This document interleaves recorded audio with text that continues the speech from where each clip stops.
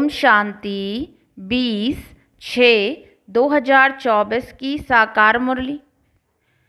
मीठे बच्चे, अब चने मुट्ठी के पीछे अपना समय बर्बाद नहीं करो। अब बाप के मददगार बन, बाप का नाम बाला करो। प्रश्न, इस ज्ञान मार्ग में तुम्हारे कदम आगे बढ़ रहे हैं, उसकी निशानी क्या है? उत्तर, जिन बच्चों को शांति धाम और सुख धाम सदा याद रहता है याद के समय बुद्धि कहाँ पर भी भटकती नहीं है। बुद्धि में व्यर्थ के ख्यालात नहीं आते। बुद्धि एकाग्र है, झुटका नहीं खाते। खुशी का पारा चढ़ा हुआ है तो इससे सिद्ध है कि कदम आगे बढ़ रहे हैं। ओम शांति। बच्चे इतना समय यहाँ बैठे हैं। दिल में भी आता है कि हम जैसे शिवालय में बैठे हैं। शिव बाबा भी याद आ जाता है, स्वर्ग भी याद आ जाता है। याद से ही सुख मिलता है।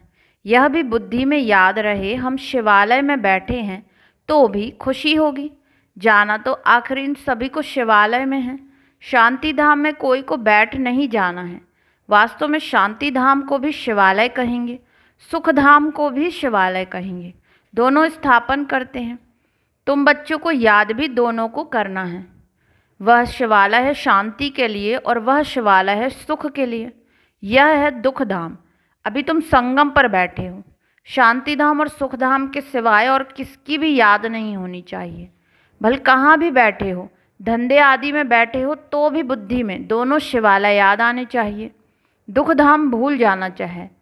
बच्चे जानते हैं यह वैश्यालय दुख धाम अब खत्म हो जाना है। यहाँ बैठे तुम बच्चों को झुटका आदि भी नहीं आना चाहिए। बहुतों को बुद्धि बहुतों की बुद्धि कहाँ कहाँ और तरफ़ चली जाती है। माया के विघ्न पड़ते हैं। तुम बच्चों को बाप घड़ी घड़ी कहते हैं, बच्चे मन मना भो भिन्न भिन्न प्रकार की युक्तियाँ भी बतलाते हैं। यहाँ बैठे हो, बुद्धि में यह याद करो कि हम पहले शांति धाम शिवालय में जाएँगे, फिर सुख धाम में आएँगे। ऐसा याद करने से पाप कटते जाएँगे। जितना तुम याद करते हो, उतना कदम बढ़ाते हो। यहाँ और कोई ख्यालात में नहीं बैठना चाहिए। नहीं तो तुम औरों को नुकसान पहुँचाते हो। फ़ायदे के बदले और ही नुकसान करते हो।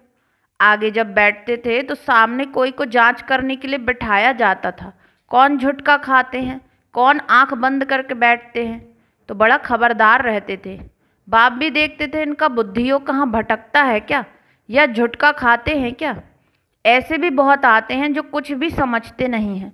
ब्राह्मणियाँ ले आती हैं शिव बाबा के आगे बच्चे बड़े अच्छे होने चाहिए, जो गफलत में नहीं रहें, क्योंकि यह कोई ऑर्डिनरी टीचर नहीं। बाप बैठ से खिलाते हैं, यहाँ बहुत सावधान होकर बैठना चाहिए। बाबा पंद्रह मिनट शांति में बैठाते हैं, तुम तो घंटा, दो घंटा बैठते हो। सब तो महारत ही नहीं है, जो कच्चे हैं, उनको सावधान करना है। सावधान करने से सुजाग हो जाएँगे। जो याद में नहीं रहते, व्यर्थ ख्यालात चलाते रहते हैं, वह जैसे विघ्न डालते हैं। क्योंकि बुद्धि कहाँ ना कहाँ भटकती है। महारथी, घोड़े सवार, प्यादे सब बैठे हैं। बाबा आज विचार सागर मंथन करके आए थे। म्यूज़ियम में अथवा प्रदर्शनी में तुम बच्चे, जो शिवालय, वैश्यालय और पुरुषोत्तम संगम युग, तीनों ही बताते हो। यह बहुत अच्छा है समझाने के लिए। यह चित्र बहुत बड़े बड़े बनाने चाहिए। सबसे अच्छा बड़ा हॉल इनके लिए होना चाहिए। जो मनुष्यों की बुद्धि में झट बैठे। बच्चों का विचार चलना चाहिए कि इसमें हम इम्प्रूवमेंट कैसे लाएँ। पुरुषोत्तम संगम युग बहुत अच्छा बनाना चाहिए।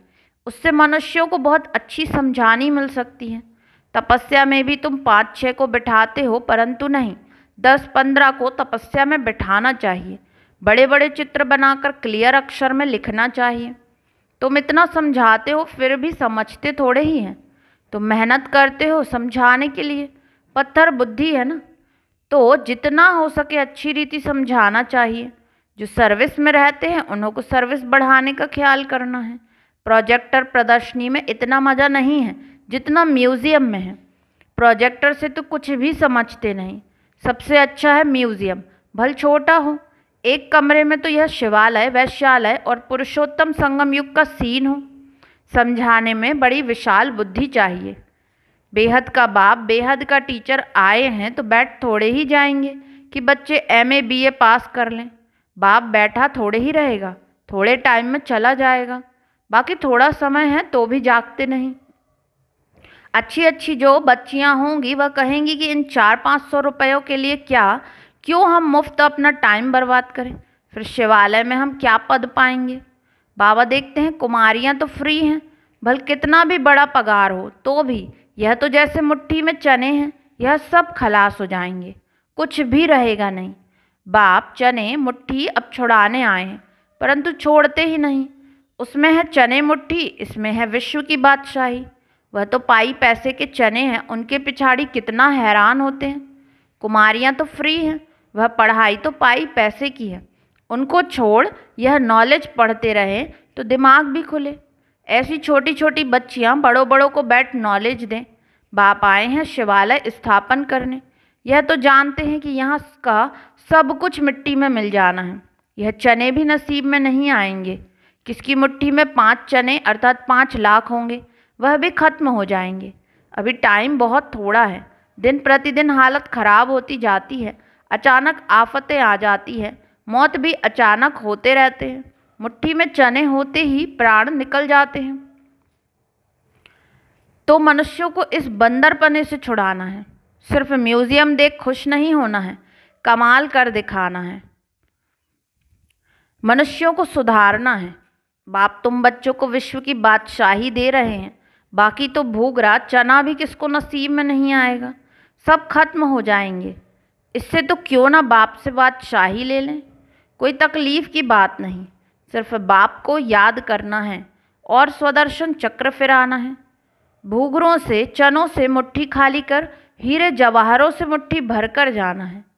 बाप समझाते हैं, मीठे बच्चे, इस चने मुट्ठी के पिछाड़ी तुम अपना समय क्यों बर्बाद करते हो? हाँ कोई बुज़ुर्ग है, बाल बच्चे बहुत हैं तो उनको संभालना होता है।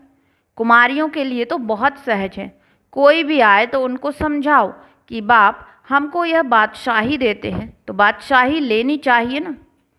अभी तुम्हारी मुट्ठी हीरो से भर रही है। बाकी और तो सब विनाश हो जाएँगे। बाप समझाते हैं, तुमने तिरसठ जन्म पाप की है। दूसरा पाप है बाप और देवताओं की ग्लानी करना। विकारी भी बने हैं और गाली भी दिया है। बाप की कितनी ग्लानी की है। बाप बच्चों को बैठ समझाते हैं, बच्चे टाइम नहीं गंवाना चाहिए। ऐसे नहीं, बाबा हम याद नहीं कर सकते। बोलो, बाबा, हम अपने को आत्मा याद नहीं कर सकते। अपने को भूल जाते हैं। देह अभिमान में आना गोया, अपने को भूलना। अपने को आत्मा याद नहीं कर सकते तो बाप को फिर कैसे याद करेंगे? बहुत बड़ी मंजिल है। सहज भी बहुत है। बाकी हाँ माया का अपोजिशन होता है। मनुष्य गीता आदि बल पढ़ते हैं, परंतु अर्थ कुछ भी समझते नहीं। मनुष्य गीता आदि भल पढ़ते हैं, परंतु अर्थ कुछ भी नहीं समझते। भारत की है ही मुख्य गीता।